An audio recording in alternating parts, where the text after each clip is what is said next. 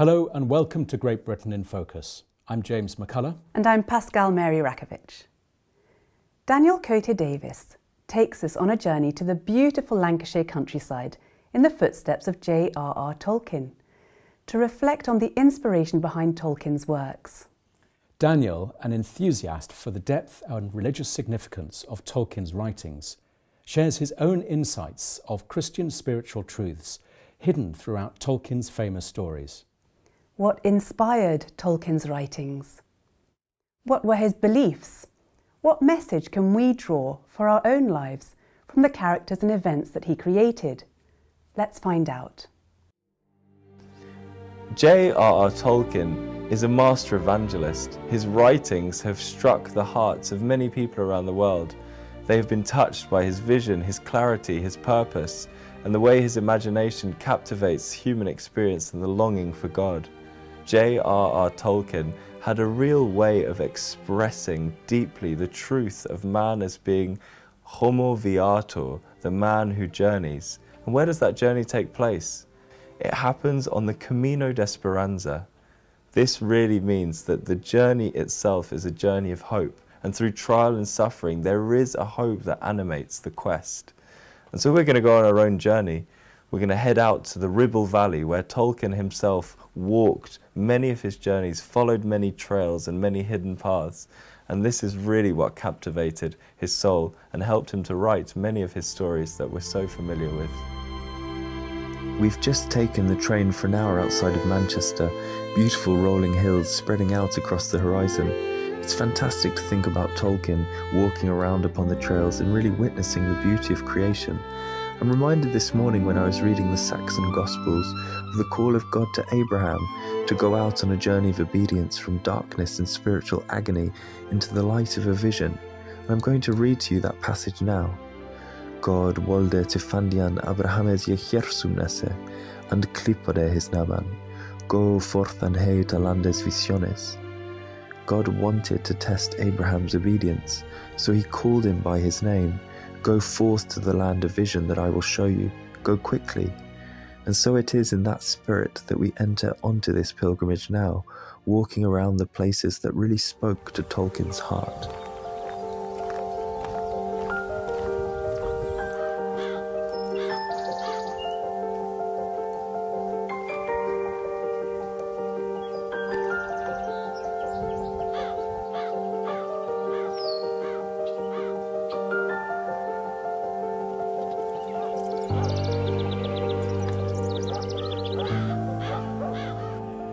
Along the pilgrimage of life, we can often encounter the cross.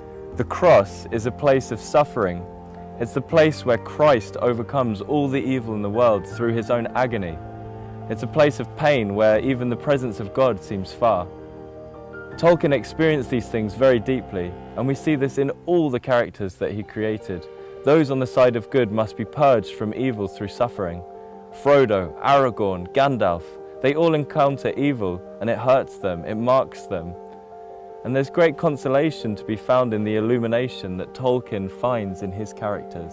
That this suffering is not without meaning. It's a suffering that brings about great good and great hope. And I think when we find the cross in our lives, we can find great consolation in Tolkien's heart.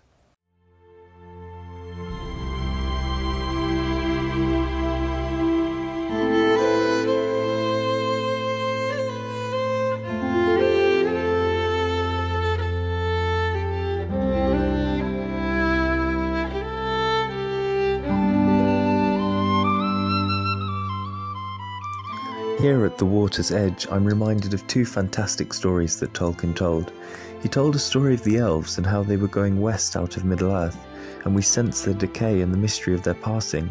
And in many ways, seeing the fading decays of England, we are reminded of the many beautiful buildings that adorned this land before the Reformation the monasteries, the cathedrals, and how a liturgy of praise erupted from under their many roofs and steeples to praise the Creator and here at the water's edge, we remember the joy of many of the characters that Tolkien brought into being. For example, Tom Bombadil and Goldberry, who was called the River Daughter. She was a serene and beautiful figure that Tom Bombadil encountered in his many journeys gallivanting around the forest, and he fell in love with her, and every day he would bring her water lilies out of devotion. And in many ways, this beautiful image of their love is a great testament to Tolkien's understanding of vocation and the call of every human being to follow God on a pathway of joy, hope, and love. And I always think when I'm by the river's edge of Tom sensing and seeing the beauty of Goldberry, falling in love, and their happy wedding, as Tolkien described it, a merry day indeed.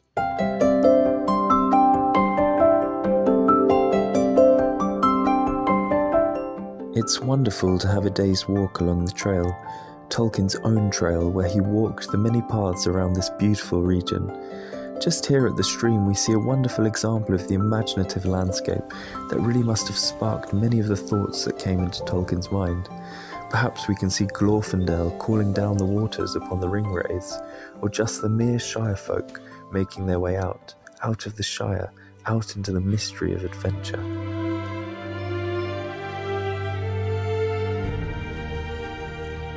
The late Tolkien scholar Stratford Caldecott always meditated on the power of beauty to transform and heal human lives, and artists of every generation have been drawn to reflect on the fading beauties of their land. None more so than Tolkien, who in Rivendell and Lothlorien could capture the decaying past of the English tradition.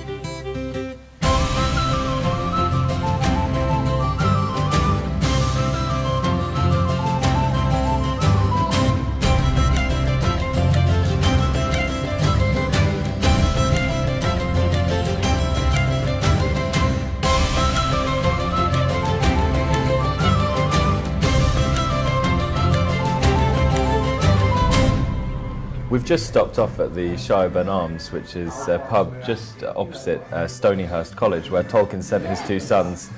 Just enjoying a nice meal, and it's a good place to reflect on the hobbits. And uh, where they started out in the Shire was a place of comfort and uh, relative um, peace. And uh, there was a great disturbance, really, amidst all that uh, peace when Gandalf the Wizard came and called uh, Frodo out on his adventure. And um, I think adventure is a really good way to think about Catholic vocation, the call that every Catholic has to take up uh, the cross of Christ in their life and go on a great journey outside of the self. It's a great way to end our journey here at the Shireburn Arms.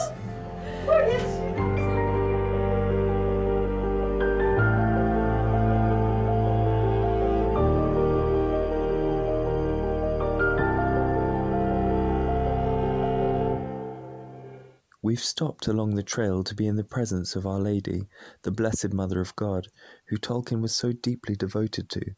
Often in his writings he would translate the Catholic prayers into the Elvish tongue, the tongue he had invented within Middle Earth to represent the elves, a liturgical creation of his, to a continual praise of Elbereth, a queen of the heavens. When Tolkien was talking about Our Lady in the elven language, he wrote the following words Aya Maria Quento Eruano. This is the elven Quenya language for Hail Mary, full of grace. And it's good just to meditate upon Our Lady's presence in the journey of every human being. Always along the way, she encourages us to continue to search for Christ in our lives and never to give up, even if the suffering is really quite bad.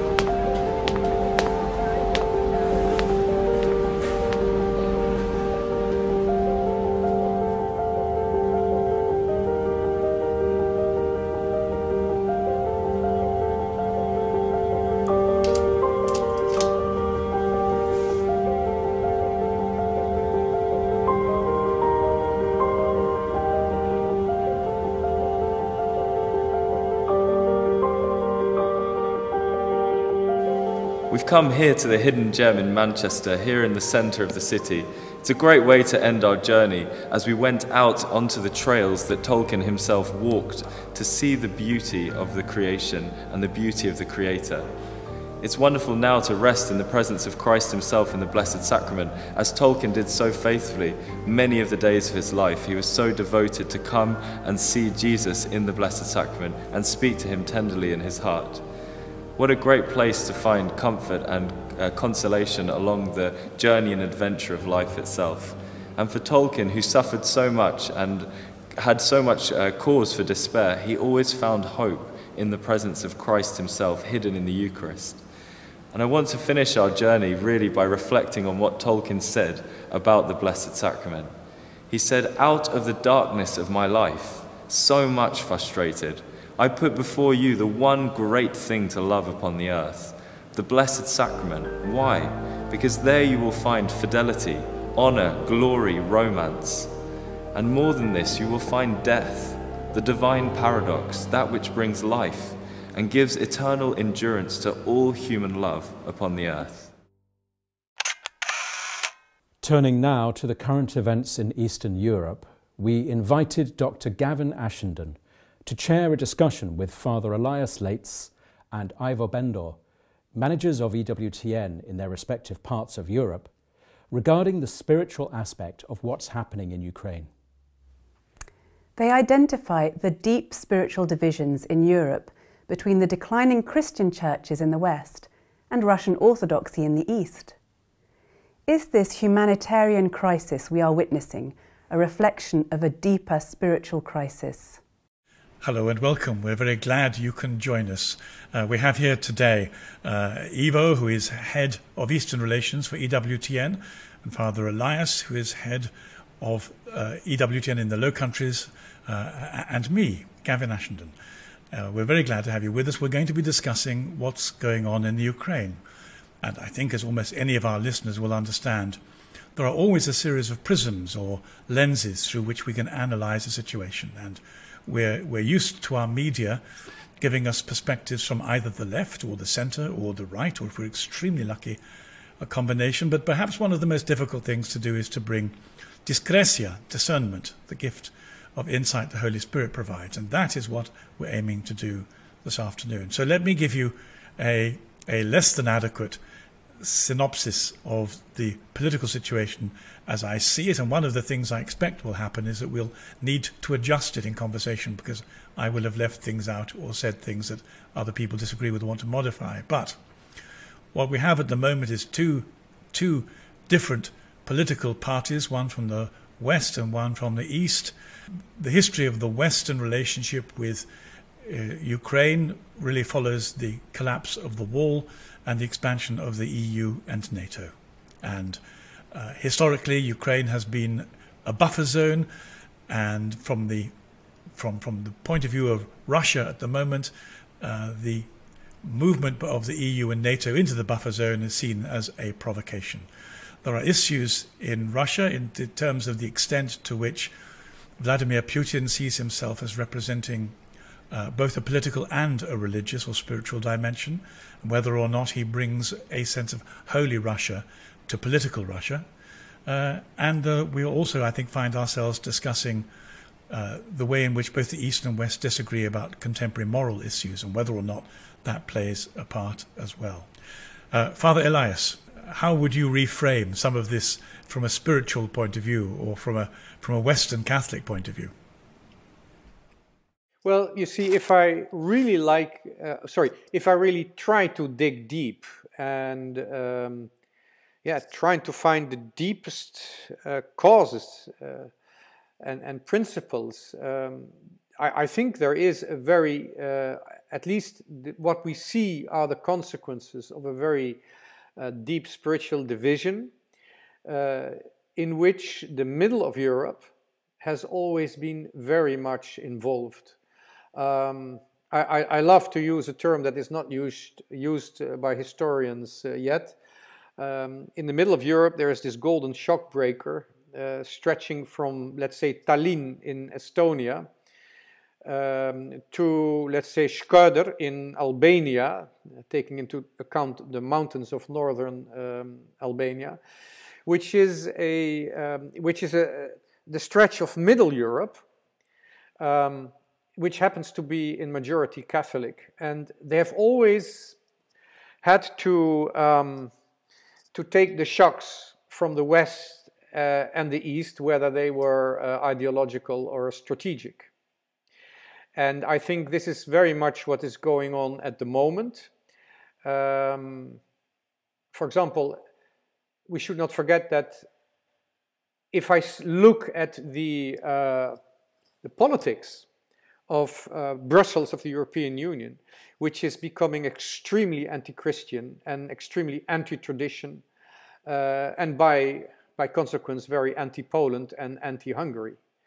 Um, these countries are now attacked ideologically. They must follow the uh, Brussels uh, ideology about gender, about the family, uh, about letting in uh, immigration in a completely disordered way.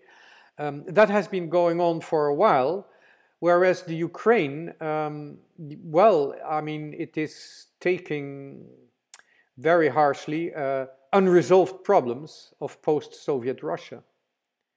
And um, I, I, I, think there is a very deep uh, divide within Christianity uh, becoming visible in a very violent way now in Ukraine. Um, Can I share a perception and ask Iwo to, to comment on it? Um, one of the things that's uppermost in my own mind is the culture wars.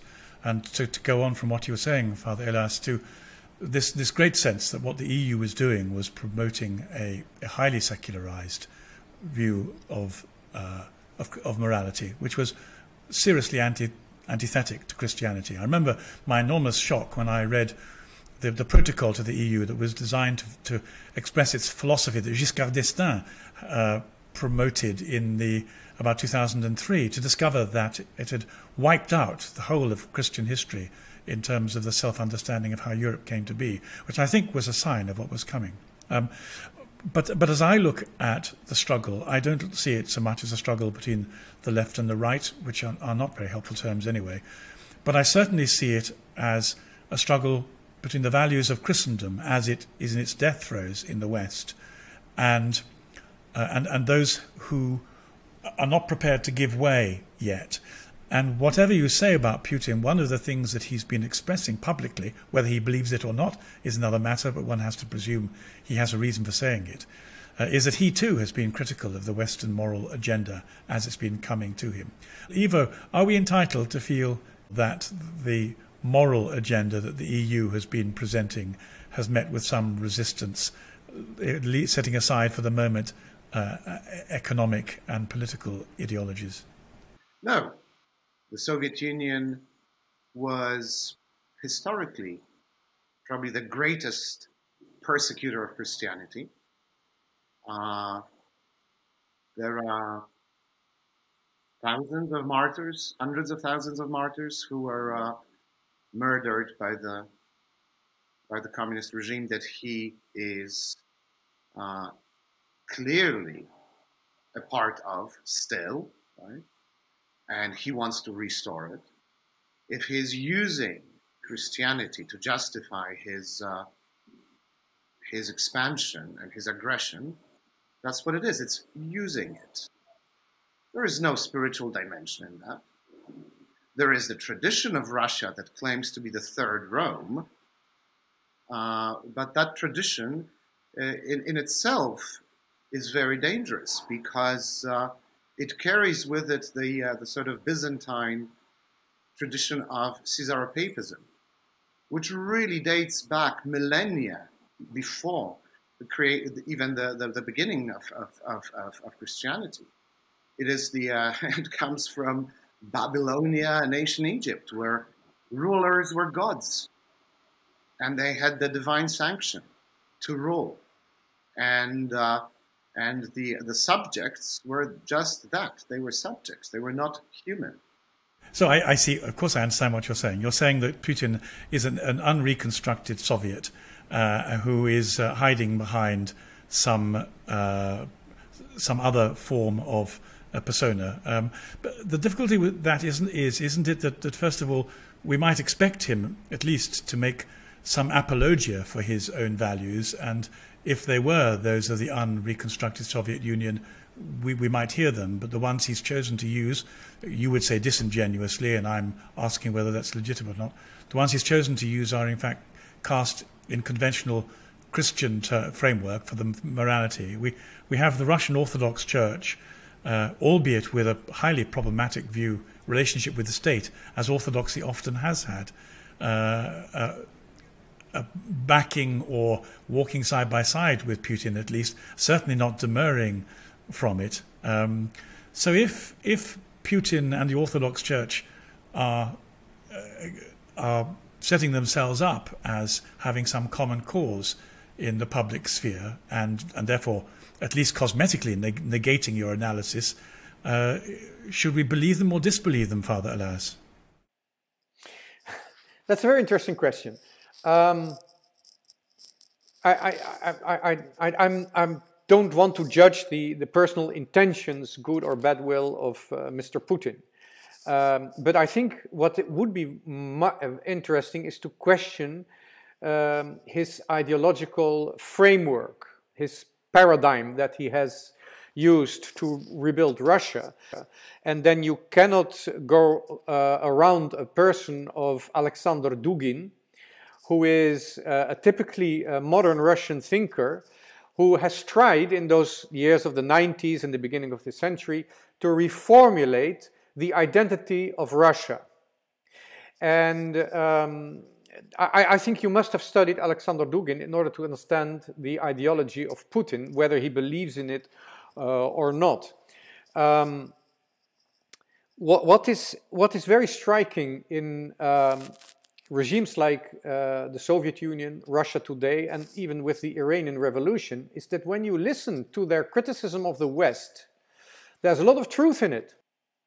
And we Westerners will say yes, or some some Westerners, Christian Westerners, will say, yeah, true, we're decadent. True, we we have a, a an, an, imperialist vision of of of, of uh, a market that will spread our form of secular relativism, re relativism uh, through the world, you know. There's a lot of criticism. It's always uttered by people who will not use this critical intelligence on their own behavior or their own ideology. For them, uh, Moscow, not Rome, but Moscow must be the place from where Christianity is to be restored, uh, from the beaches of uh, Ireland on the Atlantic Ocean to the beaches of uh, Sakhalin and Vladivostok in, in the east. And that's, that's the idea they have. You, you suggested that Orthodoxy has a weakness in terms of embedding itself in nationalism, and that's obviously true. Uh, there's no doubt at all that. that uh, yes, it's a consequence of that weakness. Um, well, if, if I was an Orthodox Christian looking at the West, and particularly looking, listening to the head of MI6 saying one of the things we'd hoped was that, it, that the influence of EU and NATO was going to uh, increase the influence of this uh, this this secular constrained anthropology. I would say to, to, to the Western Christian voice, well, you failed to communicate the glorious freedom of your Christian anthropology. We we at least uh, have maintained it. Why have you? Why have we failed? Um, certainly, my my Catholic friends in Poland say they uh, that the battle lines are very evenly drawn and they're not at all sure of being able to guard in legislation the, the presumptions of Christian anthropology and Catholic culture. Uh, and, and Holland hasn't set us an example in resisting secularism either. Where is the, you know, in answer to either to either me or to an Orthodox interrogator, how, where is the Christian mind holding secularism to account? Well, I, I think, uh, Gavin, I think that's our fight. I don't think anybody else is going to solve that problems. We're, we're the cause and we're going to have to solve it. Of course, historically, you, you, you can link this, um, uh, the, the, the, sexual problems of the West, if you like, uh, to, to Marxism, because um, Marxism started as a universal ideology, and so they attacked the family, they attacked sexuality, they attacked fertility, and, and we had no arms against it. But this is a wonderful apologia for the Western mind, and I, I, I completely agree. Uh, that appears to me, Putin appears to me to be saying something very similar to you in terms of his defense of the family and of conventional Christian morality against the subversion of the Frankfurt School and liberal ident- secular identity politics. Now, uh, um, as I understood it, you're saying, but, but we can't believe him. He doesn't mean this. See, I'm so impressed by Father Elias's apologia. I want to grab it, put my weight behind it, and say, yes, this must exactly be right. So if I then see uh, something similar in orthodoxy happening, I'm, I'm, I'm drawn to it sympathetically. But, but you, is your point of view still that you think this is, this is um, unreliable and inauthentic from, from, from both orthodoxy, uh, Putin, and, and perhaps Dugin? Well, uh, I think I, you know there, there's this uh, you know uh, saying that you know hypocrisy is a uh, uh, is an homage paid by by vice to, to virtue, and, and that's that's a simple that's the best possible interpretation of uh, what Putin is doing. You know, again, I, I don't know what's in his soul, but I don't know, but I do know what they did in under his command in Chechnya uh, when the West was completely uninterested. I know what they did in uh, in Georgia, where the West West was semi-concerned, and I know what they're doing under the same banner in, in Ukraine. So, uh, you, you know, we should be judged by our actions, and the actions are quite loud and, and visible, and have been. And uh, and no, no, no, no. I mean, that is not to attack orthodoxy as such because, of course, these are two lungs of, uh, uh, of, of Christianity. I am not against the Orthodox Church. I'm against evil people using it for their evil purposes. Don't uh, don't put your stamp of approval on things that uh, that are not really within the realm of, of, of what the church should really should really should really concentrate on let that be the last word. Thank you both for a, very interesting and, and captivating conversation. Thank you for joining us. Full versions of these interviews will be made available shortly on our social media channels. EWTN Great Britain is a self funded charity. If you would like to support our mission, do visit our website on ewtn.co.uk.